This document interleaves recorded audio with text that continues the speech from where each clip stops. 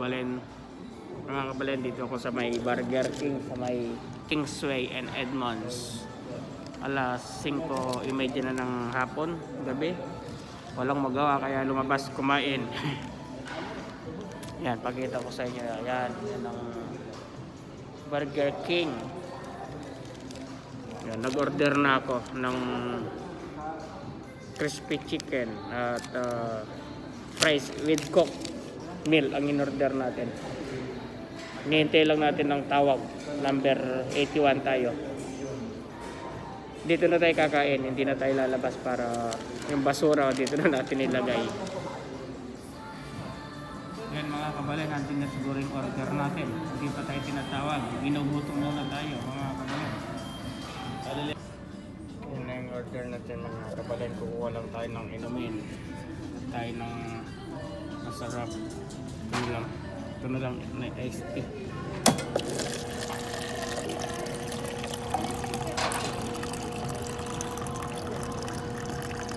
Hindi na tayo naglagay ng yellow para marami. Yan. Pwede pag i-refill to mga kabalin.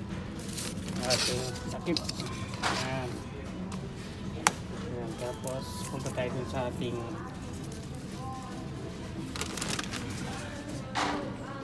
tayo dun sa ating upuan. Yan.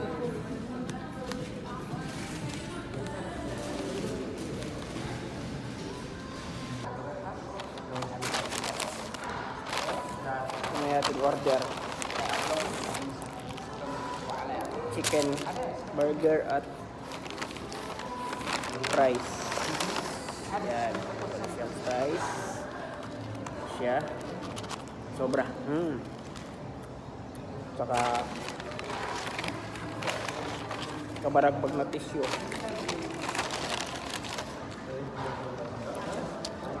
Mayonnaise.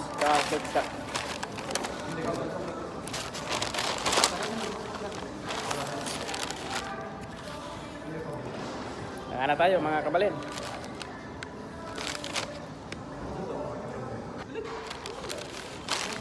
Na natin. Lagyan natin ang ano muna to. Mayonnaise or cheese. Ayan o. Ketchup. Sesya na. Di ko nadala yung aking camera. Yung stand.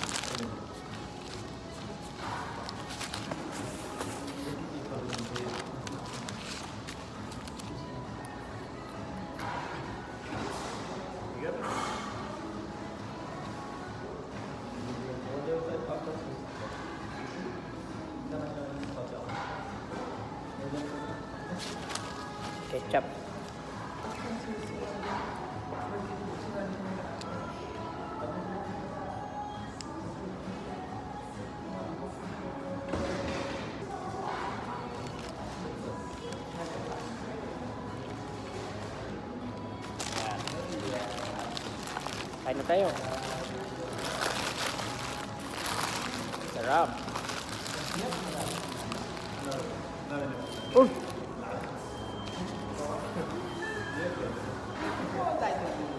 Mainit.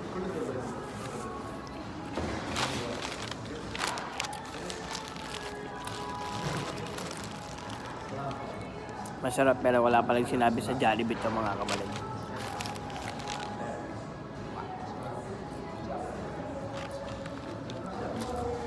Hindi makikita yung drinks ko na kasi nakasandal yung cellphone ko.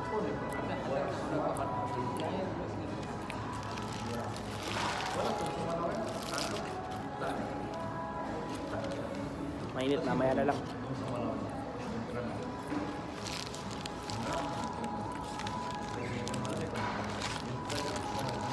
Dadaan ko pa ng mayonnaise, meron pa pala.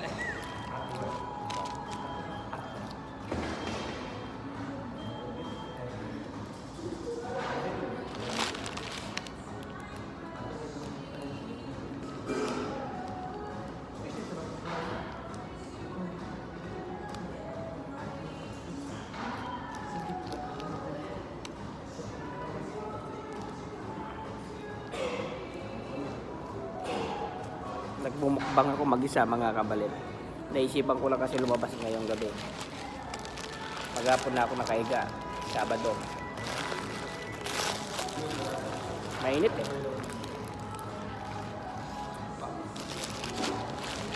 Ketchup naman ang kulang.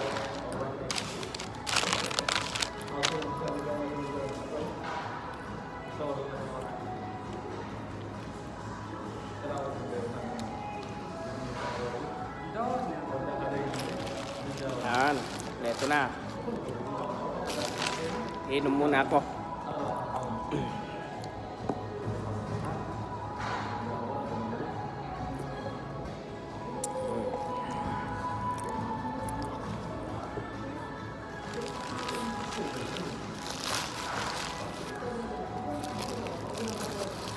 Laki kasi ng tinapay.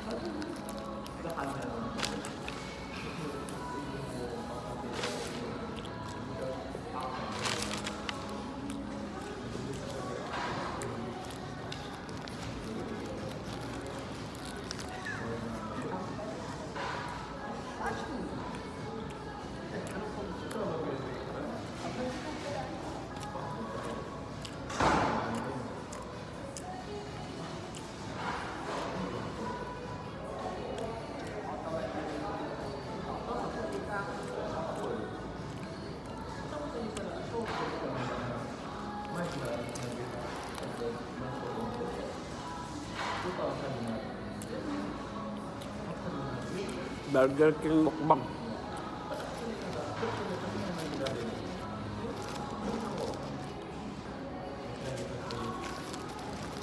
Kakain ng kanin nito. Kaya lang makakakain pa rin.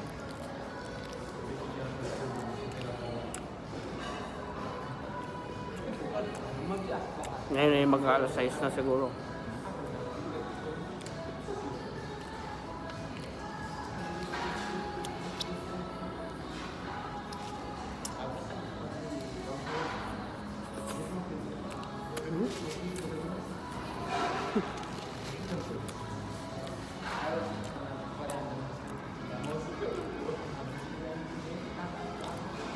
Maalat yung chicken nila.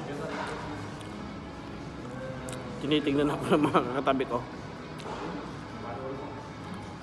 Siguro, isipin nila bakit ko nagsasalita mag-isa. Tinitignan din yung cellphone ko eh.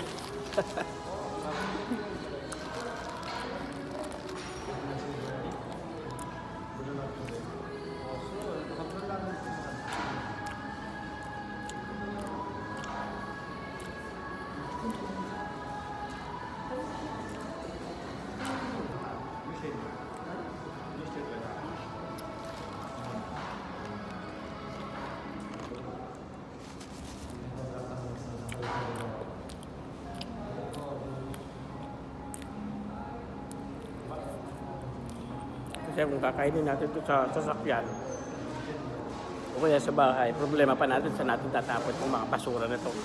At least dito na eh, kakain. Tatapon natin dito lang, di ba? Yun. Sarap.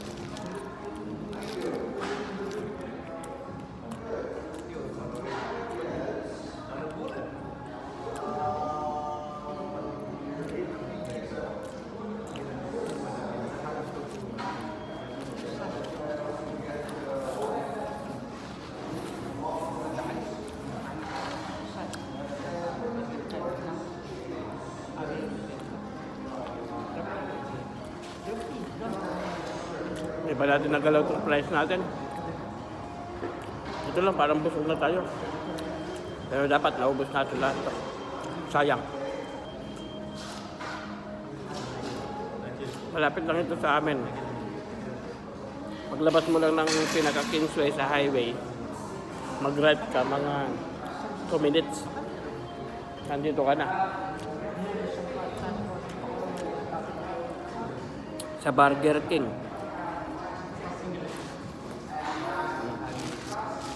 Dami natin basura mga kabalan. Lumularo. Ano.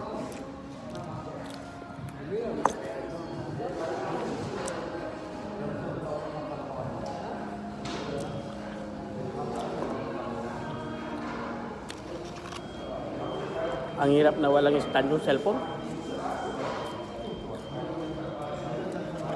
Kamuti lang ata ito.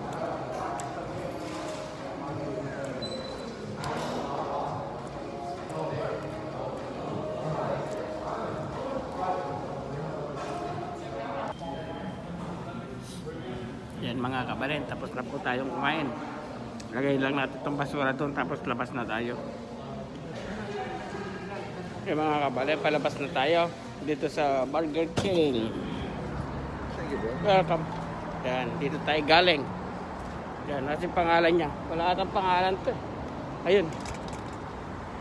Ano pangalan niya, oh? Hindi nakikita, no?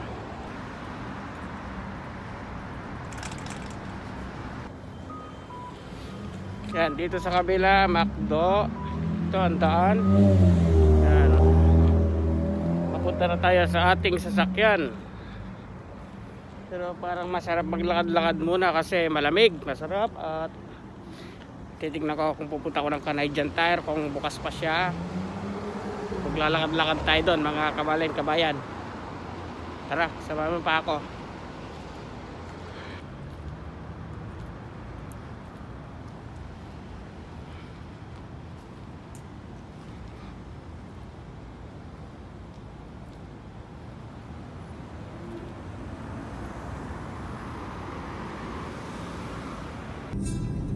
Yan mga kabalin, dito na tayo sa Gili, pababa, papuntang Canadian Tire. Konti lang yung sounds natin, i-off natin yan mga kabalin, baka ma-copyright tayo.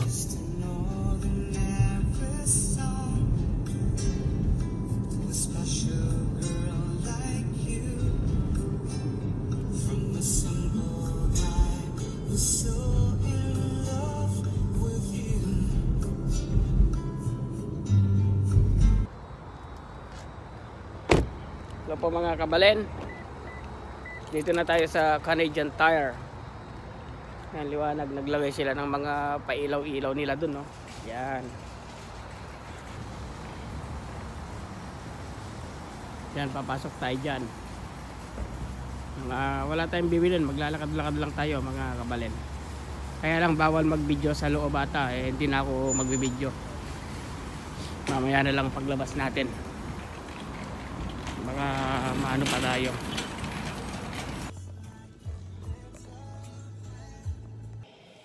Ano po mga kabalen dito na po ako sa bahay. Nakabili pala ako kanina ng steel brush yung gagamitin ko kapag nililinis ko yung pang ihaw-ihaw na binili natin noon pa noong ano paggagamitin natin. Yung maliit lang parang siguro mga 5 inches ang haba niya tapos 1 inches yung lapad. Parang toothbrush lang na medyo mahaba para pinanilinis natin sa ating uh, barbecue grill. Paano po mga kabalen? Salamat po sa panonood. Kita-kita po tayo sa ating susunod na vlog. Bye-bye!